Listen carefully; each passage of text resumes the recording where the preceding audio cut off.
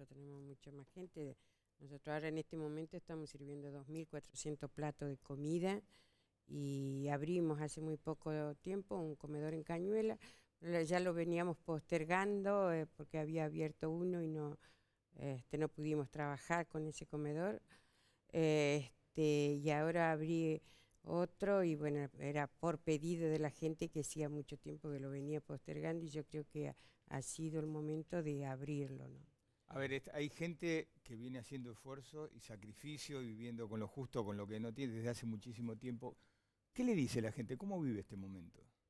No, la gente no, ellos lo que te plantean cuando van a pedirte el comedor o alimento, te dicen, bueno, mi esposo está trabajando, yo dejé de trabajar, no tengo trabajo y no nos alcanza, no llegamos a, fin de mes.